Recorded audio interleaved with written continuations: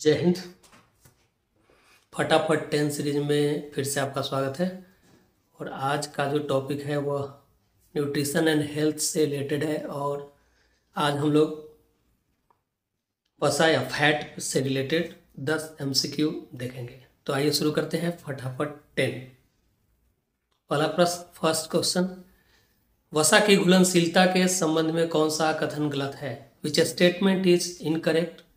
Regarding the solubility of fats A जल में घुलनशील सोल्यूबल इन वाटर बी जल में अघुलनशील insoluble in water C chloroform benzene और इथर में घुलनशील soluble in chloroform benzene and ether D alcohol और पेट्रोलियम में घुलनशील soluble in alcohol and petroleum E उपरोक्त में से कोई नहीं या एक से अधिक। हमें बताना है कौन सा कथन गलत है। इसका सही उत्तर होगा ए, जल में घुलनशील सोल्यूबल इन वाटर फैट जो है वो फैट जल में घुलनशील नहीं होता है इनसोल्यूबल वाटर होता है तो बी सी और डी ये तीनों कथन सही है। Fat chloroform benzene ether alcohol और पेट्रोलियम में घुलनशील होता है सोल्यूबल होता है।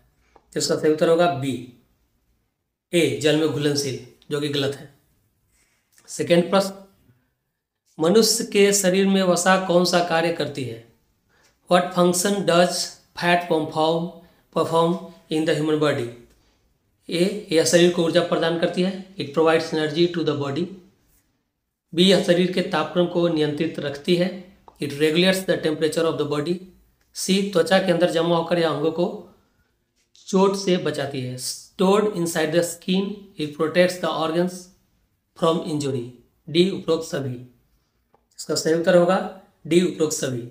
ये सारे काम, ये चारों काम, तीनों काम फैट करती है ह्यूमन बॉडी में। थर्ड क्वेश्चन जंतु वसाओं के बारे में निम्नलिखित में से कौन सा कथन सत्य नहीं है?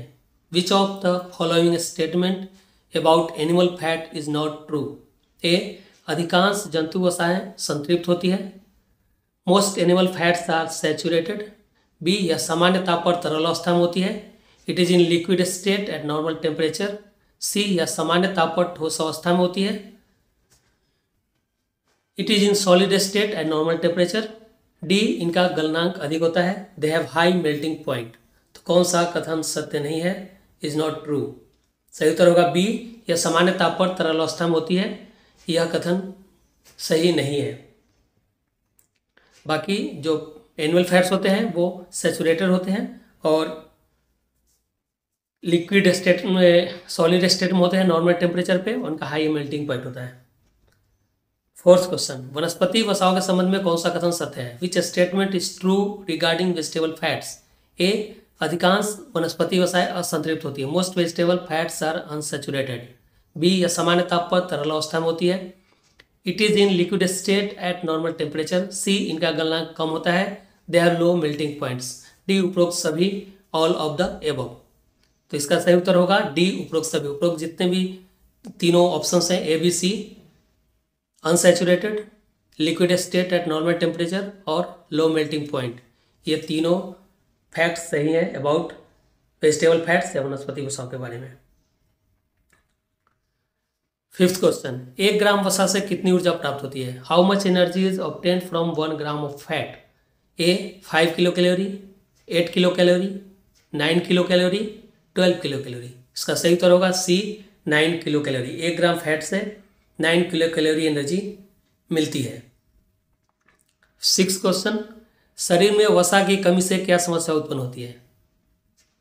What problem arises due to lack of fat in the body A शरीर की कार्य क्षमता में ह्रास होता है loss of body efficiency B शरीर में कमज़ोरी और सुस्ती weakness and lethargy in the body C, त्वचा संबंधी बीमारियाँ स्किन डिजीजेज डी उपरोक्त सभी ऑल ऑफ़ द एबव तो उसका सही उत्तर होगा डी वसा की कमी से ये सारी समस्याएँ शरीर में होती है। कार्य क्षमता में ह्रास होता है बॉडी घट जाती है वीकनेस और लिथार्जी आती है स्किन डिज़ीज़ भी होते हैं। तो इसका सही उत्तर होगा D all of the above seventh question शरीर में वसा की अधिकता से क्या समस्या उत्पन्न होती है? What problem arises due to excess body fat शरीर मोटा हो जाता है बॉडी बिकम्स फैट कोलेस्ट्रॉल बढ़ जाता है कोलेस्ट्रॉल राइजेज एथ्रोस्क्लेरोसिस बीमारी हो जाती है a disease cause atherosclerosis occurs D उपरोक्त सभी ऑल ऑफ़ द तो इसका सही उत्तर होगा डी उपरोक्त सभी। शरीर मोटा हो जाता है कोलेस्ट्रॉल बढ़ जाता है, और एथ्रोस्क्लेरोसिस नामक बीमारी हो जाती है। तो में क्या होता है कि वैन में फैट जमा हो जाता है और वैन जाम होने लगता है। आठवां प्रश्न। निम्नलिखित में से कौन सा विटामिन केवल वसा के साथ ही पचाया, अवशोषित और परिवहन किया जा सकता है? Which of the following vitamin can only be digested absorb as well as transported with fats कौन सा विटामिन है जो फैट के साथ ही डाइजेस्ट किया जा सकता है, ऑब्ज़र्व किया जा सकता है और शरीर में उसका ट्रांसपोर्टेशन भी हो सकता है। Vitamin A vitamin D vitamin E vitamin K उपरोक्त में से कोई नहीं, या एक से अधिक। तो इसका सही उत्तर होगा ई एक से अधिक। यहाँ पे ए डी ई और विटामिन के चार विटामिन है। Vitamin A vitamin D vitamin E और विटामिन के ये वसा में घुलनशील है। They are soluble in fats और इनका जो पाचन होता है इन चारों विटामिन का पाचन और शोषण और परिवहन फैट के साथ ही हो सकता है। Vitamin A D E and vitamin K are fat soluble therefore their digestion, absorption and transportation can be done along with fats only. तो इसका सही उत्तर होगा ई एक से अधिक। ए डी ई के ये चारों ऑप्शन होंगे इसमें। Next question which is the most common type of fat in human diet मानव आहार में वसा का सबसे सामान्य प्रकार कौन सा है? Triglyceride, diglyceride, monoglyceride, pentaglyceride. तो इसका सही उत्तर होगा ए ट्राइग्लिसराइड।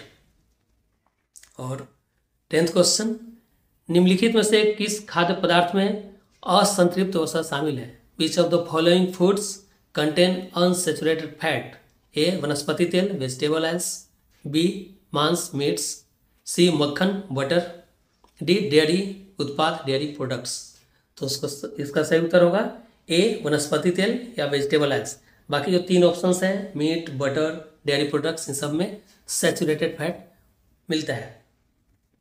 तो ये था आज का फटाफट टेन जो मेनली फैट पे आधारित था, वसा पे आधारित था। अगर आपको वीडियो पसंद आया हो तो लाइक ज़रूर करें, शेयर करें और कमेंट करना ना भूलें। अगर आपने मेरा चैनल सब्सक्राइब नहीं किया है तो सब्सक्राइब कर ले। आपको बता दें कि अगला जो वीडियो होगा वो न्यूट्रिशन एंड हेल्थ से रिलेटेड, विटामिन से रिलेटेड दस एमसीक्यू अगले वीडियो में आएँगे। Thanks for watching.